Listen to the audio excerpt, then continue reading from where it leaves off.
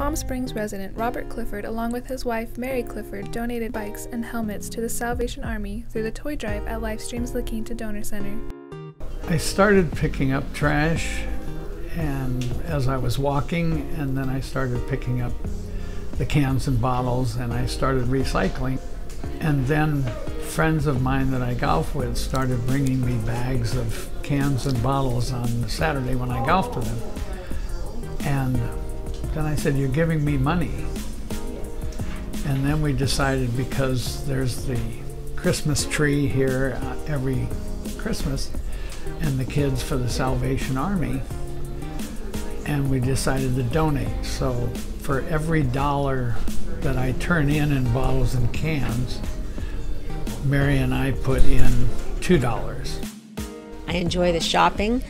It's fun to go out and, and find the things that the, the kids want, uh, whether it's games or um, puzzles or some want bikes, some want skateboards, some want scooters. It's just it's just a thrill for us. It's fun to give. Yes.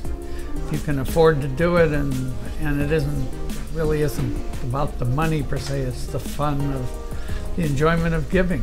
This is just amazing. I mean, uh, what a creative way to, to get involved and to help kids in need.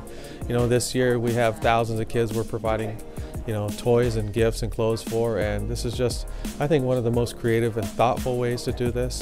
Uh, to, you know, to collect bottles and cans and you know, and to take that money to even match those funds and to, you know, buy bikes for kids. What a great thought. I think it's wonderful. We hope we can continue doing it for many years. Yes. And I'll keep, and more people give me bottles and cans to save and to do this. And the more people that I know, they, they want to help. Robert is also a frequent platelet donor at the Lifestream La Quinta Donor Center and usually donates every two weeks. I love donating platelets and giving that way I get to help.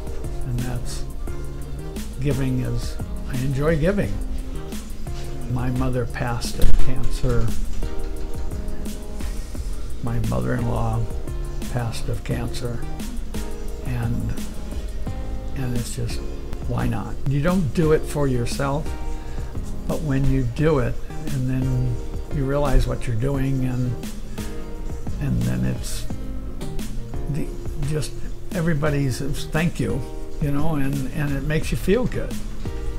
And you don't do it to make yourself feel good, but it does make yourself makes us feel good. When I'm laying there donating platelets and people come in and donate blood, I tell them thank you and they're walking out.